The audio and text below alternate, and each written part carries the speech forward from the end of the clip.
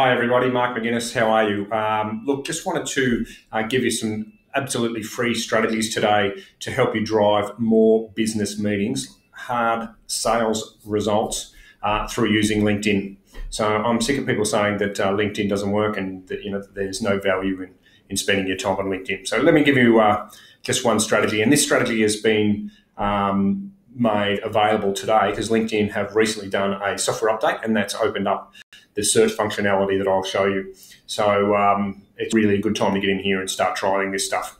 So let's um, pretend uh, that we've got a meeting this uh, this week, and we've got a meeting with um, with Kate Fair. So uh, let's say we've got a meeting with Kate on Thursday.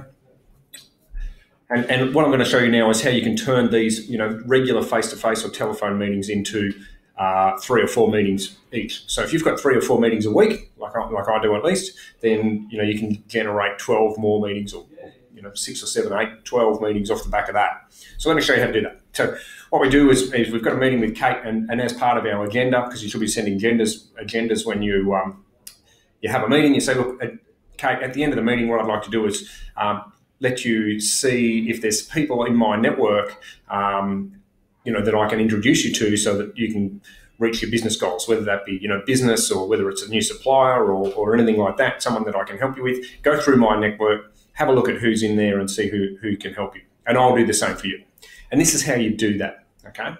So basically, you go to connections. So you need to have um, an open profile. And you know what? If they don't have an open profile and you're meeting with them on Thursday, then I think it's really easy for you to just say, "Hey, Kate."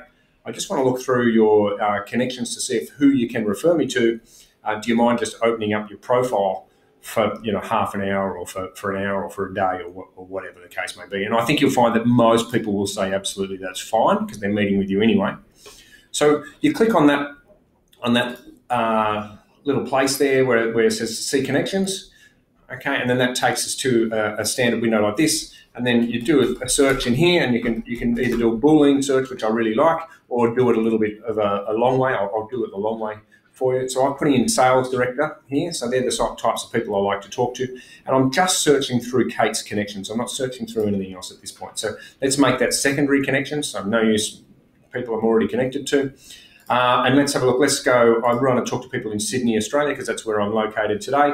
Um, and that gives me 81 sales directors that Kate's connected to. Let's see if we can make that a little bit sharper. You know, I like to do a bit of work in the IT sector, so let's see what that results now. Okay, so now I've got 18 uh, results of people based in Sydney who are sales directors inside the IT industry. So these people are absolutely rolled gold potential customers for me. So uh, I can then grab three or four of these names, and then during the meeting, I can say to Kate, "Hey, Kate, look, I noticed that um, you're connected to Simon uh, over there at Oracle. I think he'd be a, you know a great um, person for me to have a chat with. Would you mind facilitating a conversation or an introduction?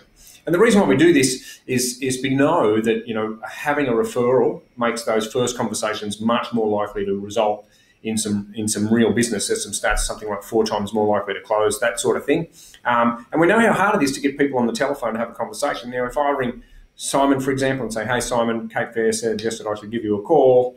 Uh, do you have a moment? He's going to say, yeah, absolutely. Now, I get that not everyone knows everybody in their network very, very well. And that's why I'd suggest you take five or six names to that meeting with the goal of coming out of that meeting with, with two new uh, referrals. So if you can do that with every meeting, let's say you're, you're like me and you've got four or five meetings uh, every week, face to face meetings, and, and you take those six names along to every, every meeting, then you're going to end up with another 10 or so business development opportunities with very, very little effort.